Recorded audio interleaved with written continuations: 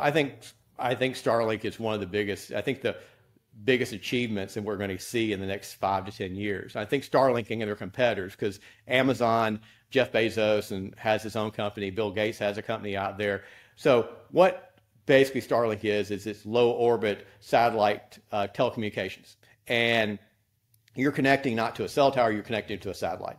You can have that for internet service at your home, but also the transition is going to be you're connecting to that via your phone. And where that is right now and so advantageous, and T-Mobile is, is has an agreement with Starlink to start in next year.